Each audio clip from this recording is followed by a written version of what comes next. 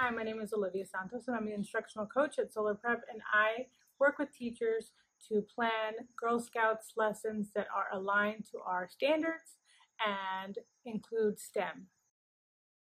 Our Take Action projects are one of the most important components of our um, Girl Scouts program. So through the journeys that the girls go on, they earn badges along the way and the final part of their journey is the Take Action Project. So through the Take Action Project, they get to solve a real world problem in the community and actually go out and um, find solutions as a team.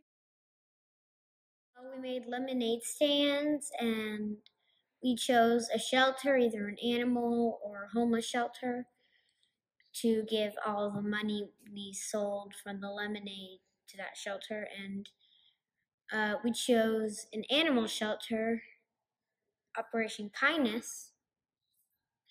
And so we gave all of our lemonade money to them. Hi, so my name is Miss Barrett and I work here at Solar Preparatory School for Girls.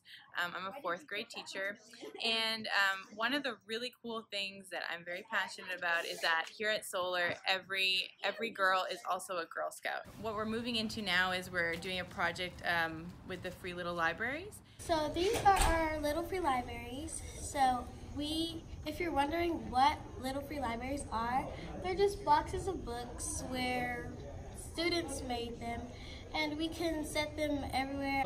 Some people don't have an opportunity to read or have access to a book. In second grade, our girls were able to go on a journey all about water. And so they learned how to love water and save water. And their final part of the project is to find out how to share water, water with others. Uh, we watched a video about a little girl carrying a bucket of water six miles or five miles from her home.